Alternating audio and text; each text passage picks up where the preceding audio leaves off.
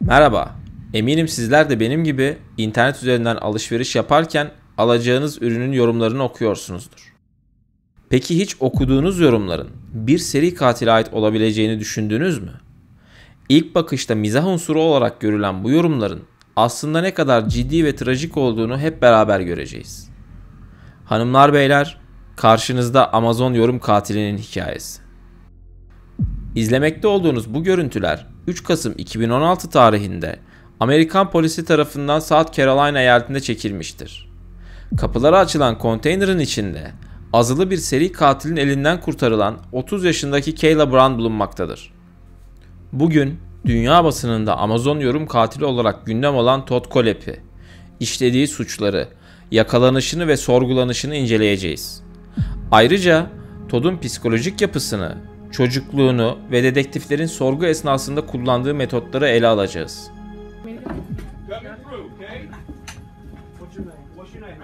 Lauren, Lauren. Gotcha. All right. Just a girl. Just a girl, just a girl. How are you, honey? This We're is this, bolt cutters. This is our investigator. He's a paramedic. Oh yeah. Okay, we're gonna get you out of there. Okay. Just hang loose for me. Anybody got? A, I need a handcuff key. Handcuff key. I don't. I got have it right here. Hold up. Y'all slide back. Hold on. He's got go a pictures. We gotta Let let me him get pictures. Randy, let, Okay? let me see your light, Randy. You can you can put your hands down, sweetheart. You're okay. We're here. Okay. Jump. Let's get her out of here. We're getting bolt cutters, honey. Don't don't. You got pictures. attached Is to a chain from Okay. the wall, Okay. and my neck's attached to the wall up here. Okay. All right. All right. We're gonna get you out. Videoda gördüğümüz gibi Kayla akıl almaz bir şekilde sakince polislerin zincirleri kesmesini bekliyor. Yaşadığı travmatik süreç göz önüne alındığında bu denli stabil kalması gerçekten dikkat çekici. Ayrıca biraz sonra vereceği detaylar bize bu anı kafasında planladığını, birileri yardıma geldiğinde yaşananları hızlı ve detaylı bir şekilde anlatmanın hayaliyle yaşama tutunduğunu gösteriyor. Do you know where your buddy is? Charlie, Yes. he shot him. You shot him. Who did? Douche. Todd Cohep shot Charlie Carver three times in the chest, wrapped him in a blue tarp, put him in the bucket of the tractor, locked me down here, and I never seen him again. Okay. He says he's dead and buried. He says there's several bodies dead and buried out here, and he Okay. says that the dogs will be ruined if they go looking because there's red pepper. We're gonna step you out, sweet. There's- Because there's what? Red pepper. Okay. Tell the dog people that. Kayla'nın psikolojisi, polislerin konteyneri buluşu ve sonrasında yaşananlara geçmeden önce gelin birlikte hikayenin en başına dönüp olayların bu noktaya nasıl geldiğine göz atalım. Charles David Carver 32 yaşındaki genç adam izlediğiniz görüntülerde polis tarafından bulunan Kayla Brown'un erkek arkadaşıdır. Çift birkaç ay çıktıktan sonra beraber yaşamaya karar verir ve hayatlarını bir raya oturtmak adına daha fazla para kazanmak için ek işler aramaya başlar. Kayla yıllar önce eski bir sevgilisi aracılığıyla emlakçılık yapan biriyle tanışmıştır. Ve kendilerine yardım edebileceğini düşünerek bu kişiyle iletişime geçer. Bu kişi Todd Kolep'in ta kendisidir. Todd, Kayla'ya satacağı evleri temizleme işi verir. Kayla bu durumdan son derece memnundur. Todd daha sonra Kayla ile Charles'a beraber yapabilecekleri daha büyük çapta bir iş teklif eder. Teklif, Todd'un evinden 12 kilometre uzakta bulunan 50 futbol sahası büyüklüğündeki arazisinin temizlenmesidir. Fazladan para kazanma niyetinde olan genç çift bu teklifi kabul eder. Takvimler 31 Ağustos 2016'yı göstermektedir ve ikili birlikte geçirdikleri son günün bu olduğundan habersiz Todd'la birlikte arazinin iç kısımlarındaki garaja doğru ilerler. Todd, çifte dışarıda beklemelerini söyler ve garaja girer. Kısa süre sonra dışarı çıktığında silahını doğrultur ve Charles'ı göğsünden 3 kez vurur. Kayla olayın şoku içerisinde donup kalmışken Todd Kayla'yı kelepçeler ve daha sonra 2 ay esir tutulacağı konteynere götürür. Sonraki birkaç gün boyunca çifte ulaşamayan arkadaşları ve aileleri oldukça endişelenir. Charles annesine çok düşkündür ve her gün mutlaka annesini arar. Bu nedenle Charles'ın annesi hemen polise giderek kayıp başvurusunda bulunur. Arkadaşları genç çiftin evini kontrol ettiğinde köpeklerini aç ve susuz bir şekilde bulur. Bu onların yapacağı türden bir davranış değildir ve artık herkes endişelenmeye başlamıştır. Fakat garip bir şekilde Charles Facebook hesabından paylaşımlar yapmaya başlar. Bu paylaşımlar hiç Charles'ın kişiliğini yansıtmamaktadır. Dahası Charles Facebook hesabını aktif olarak kullanmamaktadır. Ne olup bittiğini anlamaya çalışan arkadaşları ve aile üyeleri Charles'ın paylaşımlarına yorum yapmaya başlar. Charles ise kendisinden beklenmeyecek şekilde arkadaşlarını tersler. Hatta Charles, Kayla ile olan bir fotoğrafını paylaşıp açıklama kısmına biz iyiyiz yazar. Tabi bu fotoğraf kısa bir süre sonra silinir. Evet, tahmin edebileceğiniz gibi hesabı kullanan Charles değildir. Todd'un böylesine şüphe çekecek bir davranışta bulunmasının birkaç açıklaması olabilir. İlk akla gelen Todd'un yakalanma korkusuyla panikleyip Charlie yaşıyormuş imajı çizmek istemesi. Fakat Todd 2003 ile 2016 yılları arasında Charlie'den önce 6 kişiyi daha öldürmüş ve hiç şüphe dahi çekmemiş tecrübeli bir seri katildir. Bu profildeki bir seri katilin böylesine basit bir hata yapması pek olası değildir. Videonun ilerleyen kısımlarında bu cinayetlerin hepsinden bahsedeceğiz. Todd'un Charlie'nin Facebook hesabından neden paylaşım yapmaya başladığını anlamak için onun zihin yapısını daha iyi analiz etmeli, bunun için de çocukluğunu incelemeliyiz. 1971 yılında Amerika Birleşik Devletleri'nin Florida eyaletinde dünyaya gelen Todd, hali hazırda çatırdayan bir evlilik içinde olan ebeveynlerinin ayrılmasından sonra annesiyle South Carolina'ya taşınır. Ayrıldıktan sonra annesi tekrar evlenen Todd, üvey babasıyla gayet iyi geçinir. Öyle ki üvey babasının soyadını alır. Diğer çocuklarla sorunlu ilişkileri olan Todd, duygusal ve mental olarak oldukça dengesiz bir durumdadır. Arkadaşlarına şiddet uygulayan, eşyalarını kıran, parçalayan bir ruh hali içindedir. Çocuklarda bu tarz davranış modelleri genellikle antisosyal kişilik bozukluklarının, düşük öfke kontrol kabiliyetinin, hatta bazı durumlarda borderline kişilik bozukluklarının erken habercisi olabilir. 9 yaşındayken bir psikiyatrist tarafından muayene edilen Todd'un erken yaşta cinselliğe fazla eğilimli olduğu tespit edilmiştir. Seri katiller üzerinde yapılan psikiyatrik araştırmalar, çocukluk yıllarında seri katillerin çok yüksek oranda hayvanlara şiddet uyguladığını gösteriyor. Todd Kollep de çocukluğunda hayvanlara karşı şiddet uygulamış. Hatta bir köpeği havalı tüfekle, akvaryumundaki balıkları ise sularına çamaşır suyu dökerek öldürmüştür. Eğer siz de etrafınızda hayvanlara şiddet uygulayan çocuklar görürseniz, profesyonel destek almaları için ebeveynlerine telkinde bulunabilirsiniz. Unutmayınız ki toplumun mental sağlığı bireysel ölçekte inşa edilmelidir. Konumuza dönecek olursak Todd'un nasıl bir çocuk olduğunu daha iyi anlamak için annesinin Todd hakkında söylediklerine bakalım. Beni öldürmekle tehdit ediyordu. Yeterince uzun ve iriydi. Korkuyordum. Geceleri hem onun kapısını hem de kendi kapımı kilitliyordum. Belki de Todd'u kadınları kaçırıp bir konteynerin içinde kitlemeye iten şey annesinin bu davranışlarıydı. Hali hazırda öfkesini kontrol edemeyen bir çocuğu uykusunda odasına kilitlemek çok yıkıcı sonuçlar doğurabilir. Bu açıdan baktığımızda Todd, Kayla'yı değil, bilinçaltındaki anne figürünü o konteynerin içinde rehin alıyordu. Todd ergenlik yıllarına geldiğinde biyolojik babası Chick'a gelir ve Todd babasıyla yaşamak istediğini söyler. Annesi Todd'u kalmaya ikna etmek için ona yeni mobilyalar alır. Fakat Todd tüm mobilyaları bir çekişle parçalar. Evet, Todd hayatının ilk 9 yılında arkadaşlarına fiziksel şiddet uygulamış. Okul servisinde bir kızın bacağına makas saplamış. Annesini ölümle tehdit etmiş. Bir köpek ve birkaç balığı kasten öldürmüştür. Tüm bunlar yetmezmiş gibi biyolojik babası yanına taşınan Todd'a patlayıcılar hakkında bilgiler verip onu 3 gün boyunca yalnız bırakır. Todd'un çocukluğu ve ergenliğinde yaşadıklarına videonun ilerleyen kısımlarında tekrar döneceğiz. Şimdilik neden Charlie'nin Facebook hesabını kullandığına geri dönelim. Todd Kollep çocukluğundan beri otoriteye karşı şiddet uygulama, başkalarının eşyalarına değer göstermeme gibi son derece spesifik antisosyal kişilik bozukluğu semptomları göstermiştir. Charlie'nin Facebook hesabını kullanması borderline kişilik bozukluğuna işaret ediyor. Todd her zaman ilgi odağı olmayı öylesine çok istiyor ki Charlie ve Kayla'nın ailelerinin, arkadaşlarının ilgisini çekmek için Charlie'nin Facebook hesabında paylaşımlar yapıyor. Belki de Kayla, Todd'un bu kendini beğenmiş ve narsistik yapısını iyi analiz edip manipüle edebildiği ve kendi avantajına kullanabildiği için hayatta kaldı.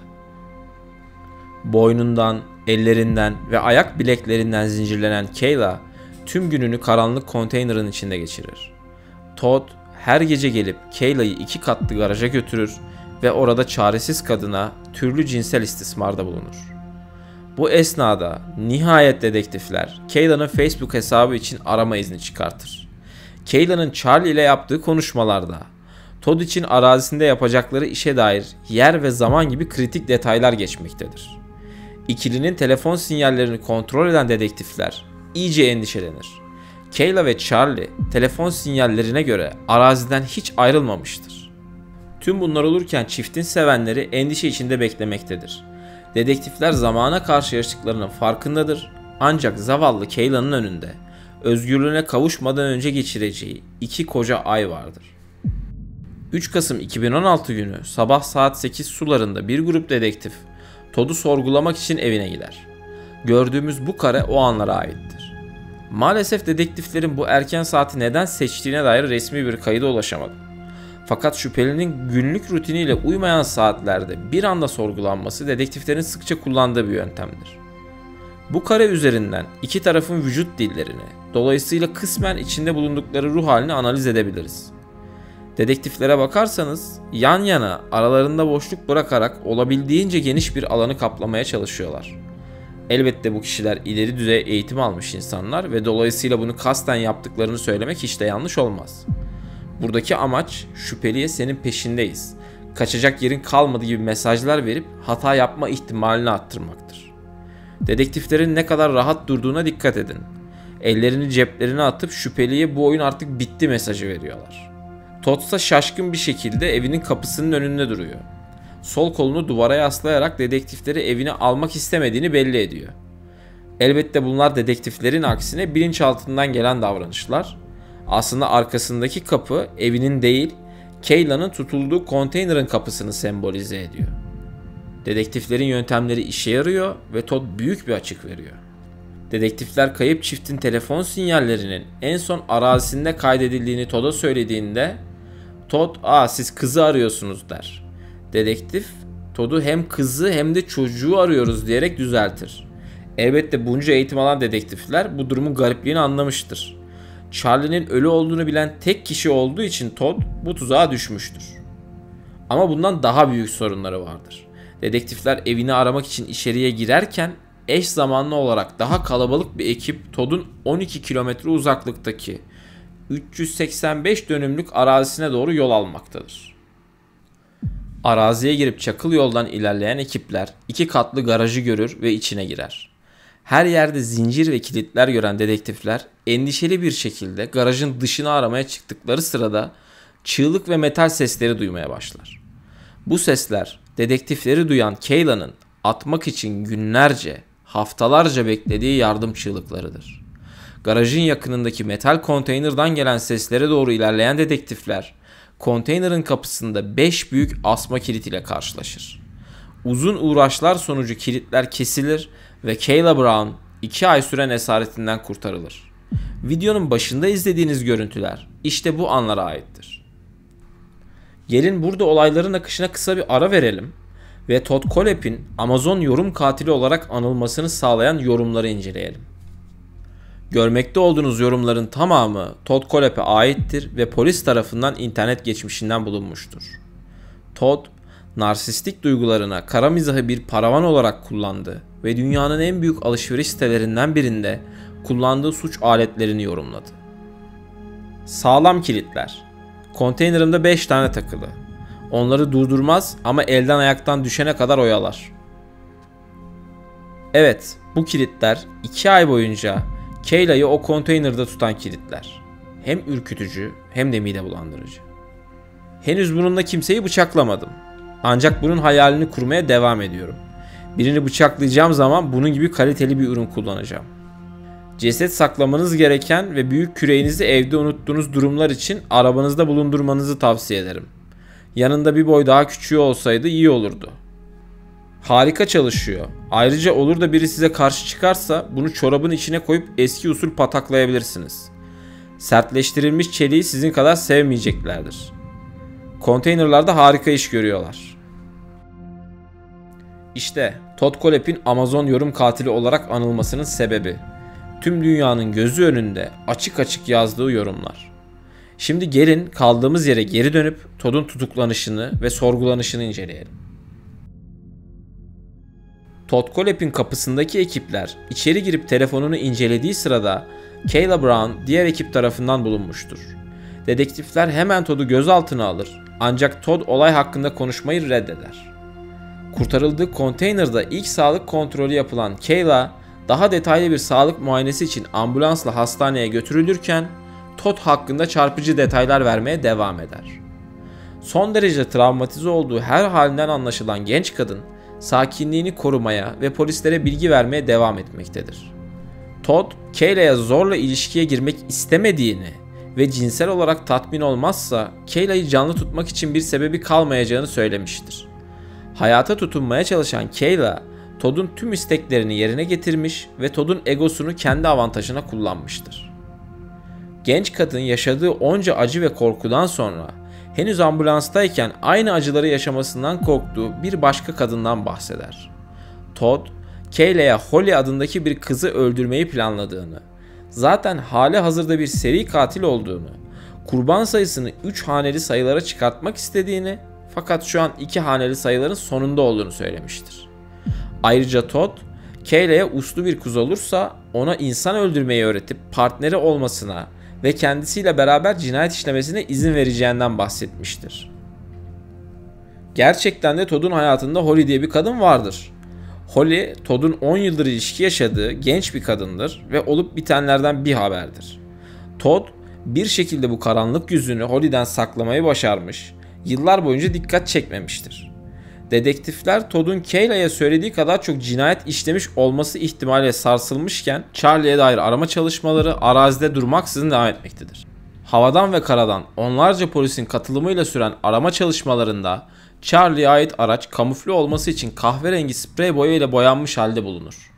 Aramalara devam eden ekipler nihayetinde Charles David Carver'ın gömüldüğü alana da ulaşır. Vakadaki kayıp iki isme de ulaşılmasının ardından suların durulacağını sanan dedektifler ne kadar yanıldıklarından habersizdir. Çünkü Todd sorgulanması sırasında karanlık geçmişini ortaya dökecektir. Şimdi gelin bir kez daha Todd'un böyle bir canavara nasıl dönüştüğünü daha iyi anlamak için ergenlik yıllarına dönelim. Ekim 1986. Todd Kollep henüz 15 yaşında genç bir delikanlıdır. Hayatının bu döneminde biyolojik babasıyla yaşamaktadır fakat baba oğul pek de iyi anlaşamaz. Todd'un babası oldukça çapkın bir adamdır ve zamanının büyük kısmını kız arkadaşlarıyla geçirmektedir. Sizlere babasının Todd'u 3 gün boyunca yalnız bıraktığından zaten bahsetmiştim. Birazdan duyacağınız korkunç olaylar işte bu 3 gün içerisinde yaşanmıştır. Genç Todd hoşlandığı 14 yaşındaki bir kızın yanına gider. Kızı erkek arkadaşın seninle görüşmek istiyor diyerek kandırıp evine getirir. Eve girdikten sonra kıza bir silah doğrultur. Zavallı kız korku içerisinde titrerken önce kızın ellerini ardından ağzını bantlar. Genç kız nasıl bir kabusun içinde olduğunu anlamaya çalışırken Todd kıza cinsel istismarda bulunur. Daha sonra kızı evine götürür ve yaşananlardan herhangi birine bahsederse kardeşlerini öldürmekle tehdit eder. Ancak olay bir şekilde polise taşınır. Todd savunmasında babasının şehir dışında olmasına tepki göstermek için böyle davrandığını söyler. İlk defa bu dönemde Todd'a borderline kişilik bozukluğu teşhisi konur. Yargılama sürecindeki psikiyatrik muayeneler Todd'un psikoz altında olmadığını, doğru yanlış, hayal gerçek gibi kavramların ayrımını yapabildiğini göstermiştir. Todd kabarık bir egoya ve otoriteye karşı bitmek bilmez bir isyana sahiptir. Her zaman kontrolün kendisinde olmasını ister ve bunun için şiddet uygulamaktan asla çekinmez. Ayrıca bu değerlendirmeler sırasında 118 puanla ortalama üzerinde bir IQ'ya sahip olduğu da anlaşılmıştır. Yüksek zeka seviyesi, sarsıntılı bir çocukluk, hayvanlara karşı şiddet, cinsel istismar ve türlü kişilik bozukluklarıyla Todd Kollep henüz 15 yaşında toplum için ne kadar büyük bir tehlike olduğunu göstermiştir. Yargılama sürecinde Todd'un yetişkin olarak yargılanmasına karar verilir.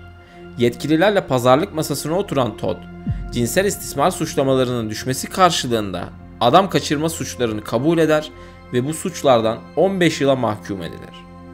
15 yılını hapiste geçiren Todd, 30 yaşında cezaevinden tahliye olur. hayatı boyunca otoriteyle yaşadığı problemleri göz önüne alınca bu adamın cezaevinde büyük sorunlar yaşadığını düşünebilirsiniz. Fakat Todd hapisteki ilk birkaç yılı dışında hiçbir soruna sebep olmamış, aksine davranışlarıyla örnek bir mahkum olmuştur. Cezaevinde geçirdiği süre içinde üniversite okumuş ve bilgisayar bilimlerinden mezun olmuştur. Tahliye olduktan sonra tekrar South Carolina'ya dönen Todd, çeşitli işlerde çalışır ve 2006 yılında emlakçılık lisansına başvurur. Todd, ilerleyen yıllarda son derece başarılı ve sevilen bir emlakçı olacaktır. Özellikle müşterileri tarafından hakkında sürekli iyi yorumlar yapılan bu adamın nedenli büyük acılara sebep olacağını kimse bilmemektedir. Şahsi fikrim yüksek zekası ve manipülasyon yeteneğini kullanarak mesleğinde başarılı olduğu yönünde. Ayrıca ofisten birkaç arkadaşı Todd'un iş yerinde pornografik içerikler izlediğini belirtmiştir. Bu seri katiller arasında son derece sık görülen bir davranıştır. Öyle ki tarihin belki de en ünlü seri katili Ted Bundy idam edilmeden yalnızca birkaç saat önce verdiği bir röportajda hayatı boyunca tanıştığı şiddete eğilimli tüm erkeklerin istisnasız bir şekilde pornografi bağımlısı olduğunu belirtmiştir. Todd'un ergenlik yıllarında işlediği cinsel suçları, cezaevinde geçirdiği yılları ve tahliye olduktan sonra hayatını nasıl yönlendirdiğini incelediğimize göre hikayemize kaldığımız yerden devam edebiliriz. İzleyeceğiniz bu görüntüler Todd Kolep'in tutuklanışından kısa bir süre sonra Spartanburg İlçe Emniyet Müdürlüğü'nde gerçekleşen sorgusuna aittir. Todd'un psikolojik yapısı, dedektiflerin kullandığı metotlar ve korkunç itiraflara geçmeden önce odanın kendisini inceleyelim. Sorgu odaları şüphelilerin zihninde maksimum baskı oluşturacak şekilde tasarlanır. Odanın küçük olmasının yanı sıra duvarların ve zeminin rengi de şüpheliyi rahatsız edecek şekilde seçilir. Ayrıca şüpheliyi mental olarak yıpratmak için masa odanın tam ortasına yerleştirilmiş. Zaten kasvetli olan bu odanın tam ortasında olmak şüphelide bir çevrelenme hissi oluşturur. Aranızda klostrofobik olanlar varsa bu odada bulunduğunu düşünürken bile rahatsız olmuştur. Hayatınız boyunca içinde bulunduğunuz odaları zihninizde canlandırmaya çalışın. Çok azının eni ve boyu birbirine eşittir. İşte böylesine alışkın olmadığınız durumlarda zihniniz bir güvensizlik ve rahatsızlık hissi oluşturur. Bu rahatsızlık hissinden bir an önce kurtulmak isteyen şüphelilerin suçlarını itiraf etme ihtimali yükselir. Todd'un özelinde konuşmak gerekirse sorgunun hemen başında işbirliği yapmak istediğini ancak iki şartı olduğunu söyler. Bu şartlardan biri annesiyle konuşmak, diğeri ise kız arkadaşının çocuğunun üniversite masrafları için para göndermektir. Kayla'nın kurtarıldıktan sonra söylediklerinden dolayı Todd'un çok daha fazla cinayet işlemiş olmasından endişelenen dedektifler Todd'un şartlarını kabul eder ve Todd işlediği suçları tüm detaylarıyla anlatmaya başlar.